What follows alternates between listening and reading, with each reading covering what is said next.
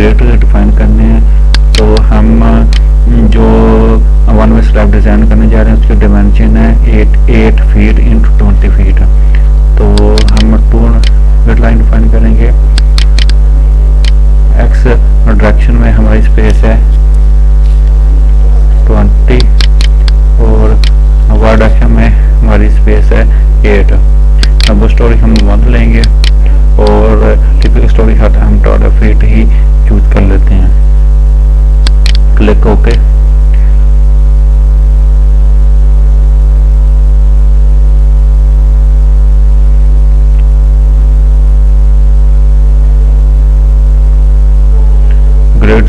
Displayed on a screen तो हम model को अब सेव करते हैं। इसका हम नाम डालते हैं design of one way slab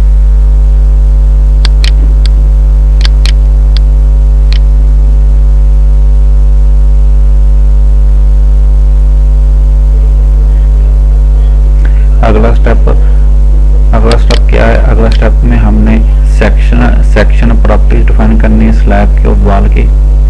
slab की हम प्रॉपर्टी डिफाइन करेंगे स्लैब वन तो हम, ये वाली जो स्लैब है, इसको हम स्लैब सिक्स इंच नेम दे देंगे। मटेरियल हमने three thousand P S define करना है तो जहाँ पे हम क्लिक करेंगे एड मटेरियल पे एड न्यू मटेरियल तो material type concrete three thousand P S I okay अगर जहाँ पे कुछ मॉडिफाई करना हो तो हम जहाँ पे मॉडिफाई कर सकते हैं। ओके और जहाँ पे थ्री थाउज़ेंड पी एस हम सिलेक्ट कर लेंगे, ठीक है? और बाकी चीज़ें हमें चेंज करने की जहाँ पे ज़रूरत नहीं है। तो स्लैब की थिकनेस सिक्स इंच हम जहाँ पे एंटर कर देंगे ओके तो अगला स्टेप में हम वाल की प्रॉपर्टीज़ हमने डिफाइन करनी है। वाल हम जहाँ यूज़ करेंगे नाइन इंच ठीक है, जो जनरली स्टैंडर्ड साइज़ होता है और मटेरियल हम यूज़ करेंगे इसके लिए मशीनरी और हम इसकी जो स्ट्रेंथ है टू थाउज़ेंड पी एस ही सेलेक्ट कर लेते हैं। ओके ओके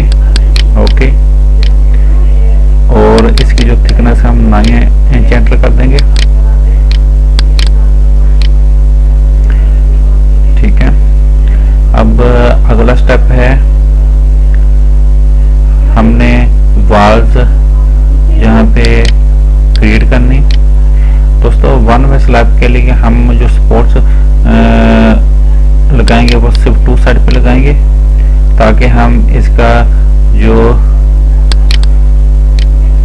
लोड बिहेवियर वो भी चेक कर सके वन वे स्लैब में लोड कैसे डिस्ट्रीब्यूट होता है, ठीक है? ये जी, हमने वाल्व जहाँ पे ड्रा कर दी है। अब अगला स्टेप ये है कि हम यहाँ पे स्लैब को डिफाइन करेंगे।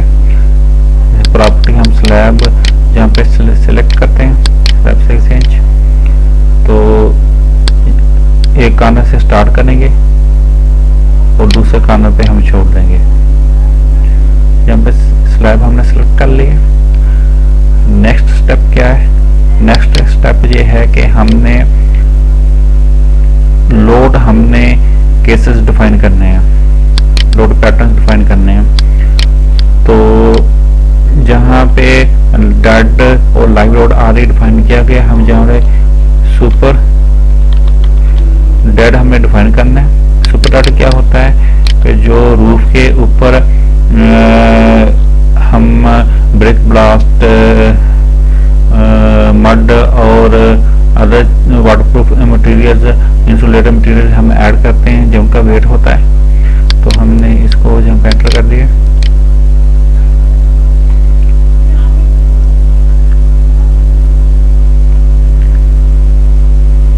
ठीक है अब अगला स्टेप हमारा क्या है? अगला स्टेप लोड कॉम्बिनेशन हम ऐड करेंगे। ऐड डिफ़ॉल्ट लोड कॉम्बिनेशन ये लोड कॉम्बिनेशन होते हैं जो ऑलरेडी ई में डिफाइन किए होते हैं। ओके कर देंगे।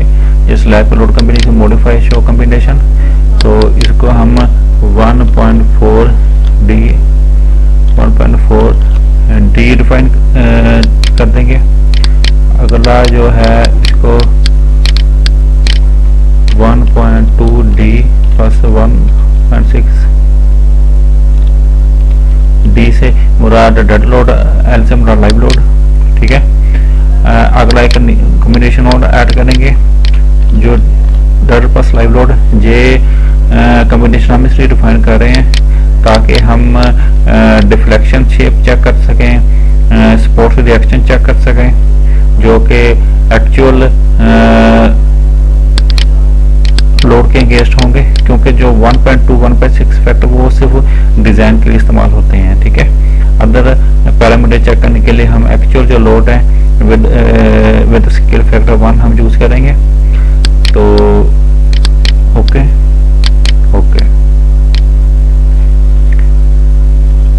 अगला स्टेप में हम यहाँ पे इनको लोड असाइन करेंगे शेल यहाँ पे यूनिफॉर्म लोड तो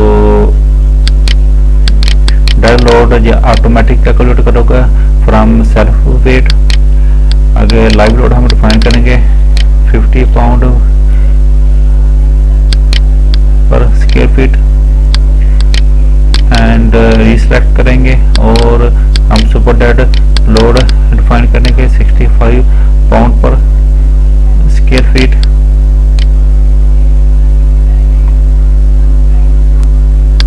ये मैंने ये स्टैंडर्ड लोड जो जनरली प्रैक्टिस में कैलकुलेट किए गए हैं, ये उनको मैंने यूज़ किया है। ठीक है? अब इसे नेक्स्ट स्टेप ये है कि हमने जो शेल्स है, इनको डिवाइड करना है। डिवाइड शेल्स तो ये दोस्तों एक्स डायरेक्शन में है और जे वाई डायरेक्शन में है। तो हमने टू बाई टू शेल्स में इनको तकसीम करना है तो ट्वेंटी फीट हो जाएगा टेन पार्ट्स में और एट फीट हो जाएगा फोर पार्ट्स में। ठीक है? ये आपके पास फोर पार्ट्स में आ गया और या टेन पार्ट्स में आ गया। ठीक है? अब हमने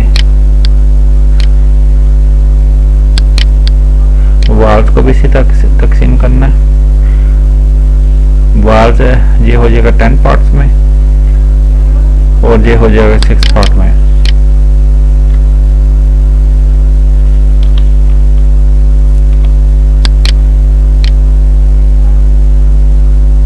ठीक है। तो हमने वाल्स को डिफाइन कर दिया। ठीक है, अब हम जाएँगे नीचे स्पोर्ट रिएक्शन पे। तो इनको सिलेक्ट करेंगे। इनको हम असाइन कर देते हैं फिक्स पोर्ट ठीक है वापस हम स्टोरी के टॉप पे जाएँगे।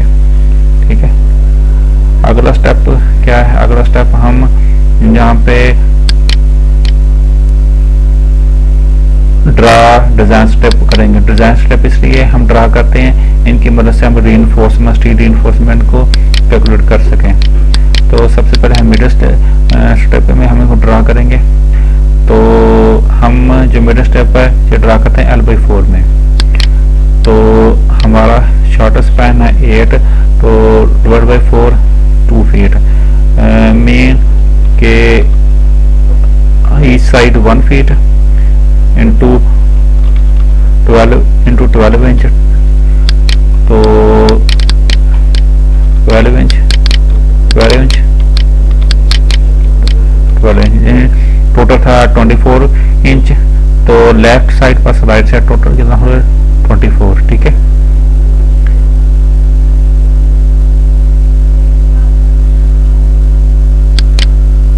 मिडर में हम शुरू किया। तो ये एंटर कर दिया। ठीक है।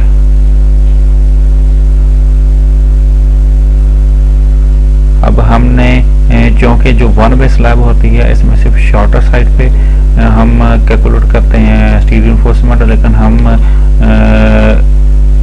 लॉन्गर साइड पे भी री कैलकुलेट करेंगे।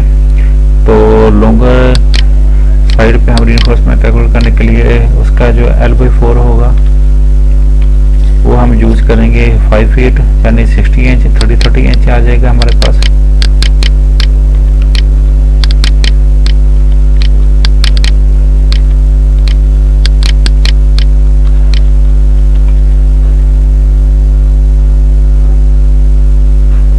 ये देख सकते ये एक्स टेन फीट पे आ रहा है। ये जहाँ पे हम सेलेक्ट चेक कर सकते हैं, ठीक है?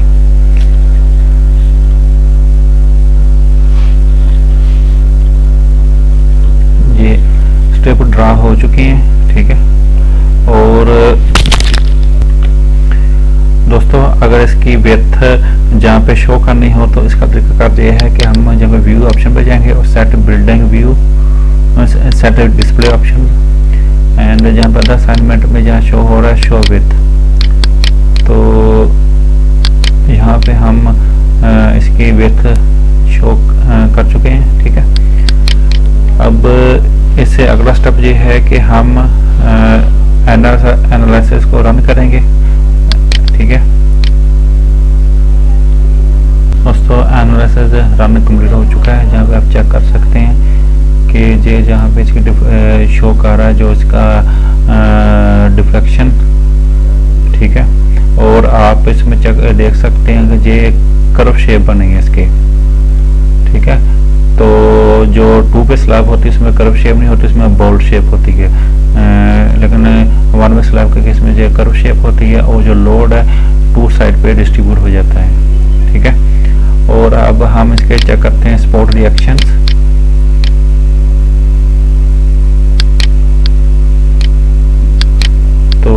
ये इसके स्पोर्ट रिएक्शन है जो आप जहाँ पे देख सकते हैं। ठीक है? अगर इनका जो सम होगा टोटल स्लैब लोड के इक्वल होगा। ठीक है? अब नेक्स्ट स्टेप क्या है? नेक्स्ट स्टेप हम कंक्रीट स्लैब को डिज़ाइन करेंगे। तो इसमें जो कम्बिनेशन इस्तेमाल होंगे, जो दो कम्बिनेशन इस्तेमाल होंगे इसको डिज़ाइन करने के लिए डी प्लस एल हम यूज़ नहीं करेंगे। ठीक है? तो अब हम स्टार डिज़ाइन कर रहे हैं। Storey one.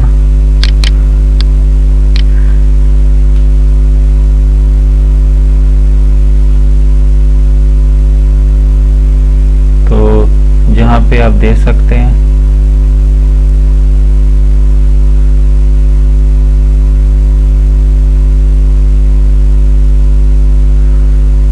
इसको हम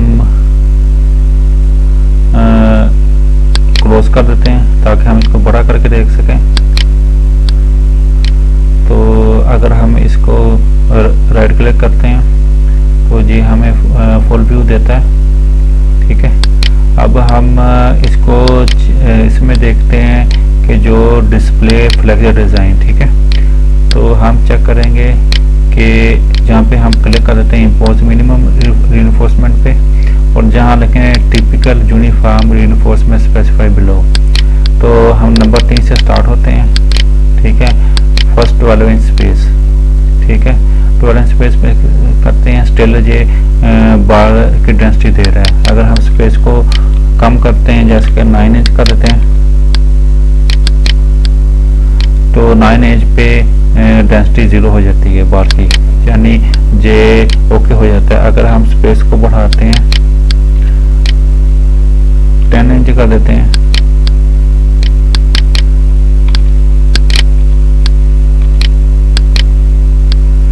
तो इसका मतलब जो नाइन इंच है ओके है।